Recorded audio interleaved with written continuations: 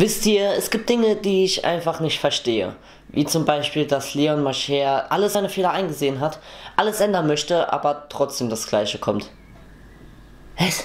Heute geht es mal um Dinge, die ich in der Schule außer Mathe nicht verstehe. Deswegen gibt es heute die allererste Folge von Warum und Action.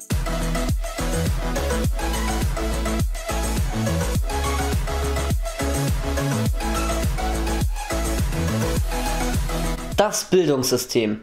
Wer kennt's nicht? Man lernt in der Schule, die man im Leben niemals braucht. Ich habe nie gelernt, wie die stabilen Seitenlage geht, wie man Verband richtig anwendet oder wie eine Herzrhythmusmassage geht.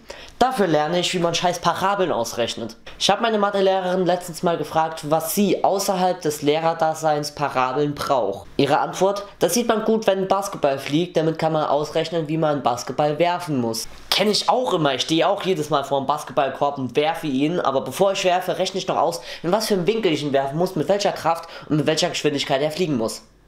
Geht's noch? Was zum Beispiel mit dem Thema Versicherung? Was ist das so wichtig? Wie komme ich an Kredite ran? Nein, wir müssen 100 Jahre alte Gedichte auswendig lernen und die Lehrer bewerten das dann. Und warum? Naja, meine Vermutung ist, dass die Lehrer keine Arbeiten korrigieren müssen. Schüler sollten ab dem Schülerbetriebspraktikum entscheiden, in was für eine Richtung sie ausgebildet werden wollen. Es bringt mir nämlich gar nichts, wenn ich Musik und Kunst habe, wenn ich später eine Ausbildung zum Mechaniker machen will.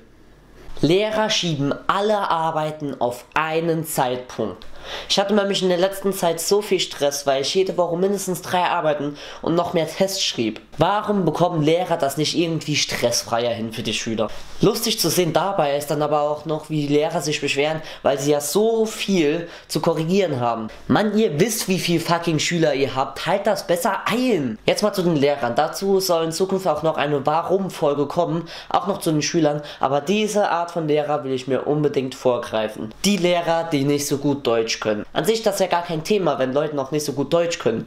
Da lernen sie es halt einfach. Aber wir haben eine Kunstlehrerin, die aus Korea kommt, in Frankreich wohnt und hier im Saarland unterrichtet. Sie kann generell nicht so gut Deutsch und vor allem wegen der Herkunft aus Korea hört man das ziemlich stark raus und ich persönlich verstehe gerade mal ein Viertel von dem, was sie sagt und sie redet sehr viel. Das ist für mich ziemlich schlecht, weil ich halt einfach nicht weiß, was ich jetzt malen soll und schließlich bekommen wir darauf ja Noten.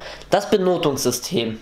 Wer kennt's nicht? Man hat zum Beispiel in Kunst eine 5, weil man die Lehrerin nicht versteht und sie scheiße bewertet und dann darf man alles wiederholen, obwohl man in rechtlichen Fächern eigentlich ganz gut ist. Dieses Bewertungssystem von Deutschland ist einfach der größte Müll, weil wenn ein Fach einem nicht liegt, verbaut es einem die komplette Zukunft.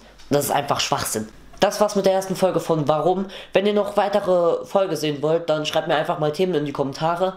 Schreibt natürlich auch Kommentare in die Kommentare. Wir wollen nämlich den Rekord von der letzten Folge knacken. Es waren nämlich 13. Das war's soweit von mir. Wenn euch die Folge gefallen hat, gebt auf jeden Fall einen Daumen hoch. Wir sehen uns. Ciao.